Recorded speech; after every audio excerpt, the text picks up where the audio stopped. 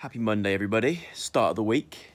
Um, I have been out of bed. I have been up and doing things, but I've just come back. And you know, when you look at your bed and think, oh, I should probably make that, you end up falling into it instead. That's happened.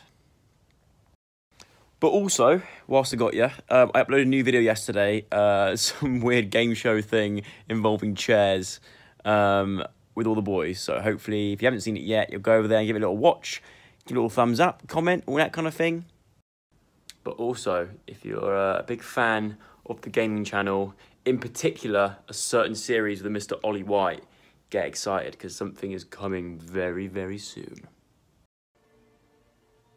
This is really fun. So I don't know what your waist is. you're not allowed. You have to just guess.